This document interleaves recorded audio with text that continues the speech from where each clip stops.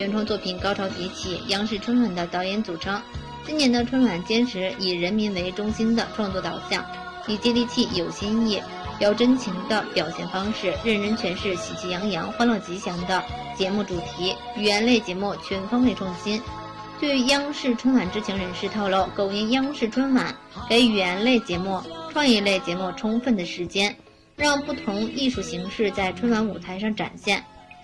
语言节目的创新体现在题材阵容及手段上，以题材为列，既讽刺了官僚主义、形式主义，也讽刺了某些行业从业者不敬业的工作态度，既反映“一带一路”建设和中非人民友谊，也体现海峡两岸人民割舍不断的同胞亲情。在演员阵容方面，汇集全国老中青三代演员，此外在表演中融入国际符号。并会借助新媒体手段打造全新喜剧效果。说起在春晚上露脸最多的演员，有观众认为是《难忘今宵》的演唱者李谷一，但其实上春晚最多的是冯巩，今年将是他连续三十二年上春晚。他表演的《我爱诗词》紧紧抓住了文化综艺的热潮。特别节目是国宝回归环节。二零一七年的电视荧屏文化类节目的热播成为不容忽视的现象。今年的央视春晚则以更具新意的表现方式，展现中华传统文化。据悉，文博探索节目《国家宝藏》也被搬到春晚舞台上，以特色的国宝回归环节来呈现。张国立将和故宫博物院院长单霁翔展示一件刚刚回归的珍贵国宝——丝路山水地图。春晚是全球华人在春节时的一道必不可少的家宴。今年的春晚则拓展新视野，适当安排国外节目和融入更多的国际化元素，将春晚文化覆盖到世界各国，使中国春晚成为中华文化对外传播的品牌和名片。据了解，具有国际知名度的外国艺术家将会参与演出。俄罗斯小白话舞蹈团经理谢尔盖奥佐夫斯基。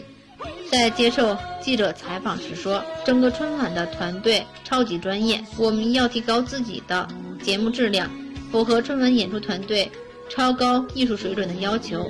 还有来自非洲肯尼亚的铁路乘务员和歌舞演员，也将登上央视春晚的舞台，和郑恺等明星演绎一个关于中非友谊的小品。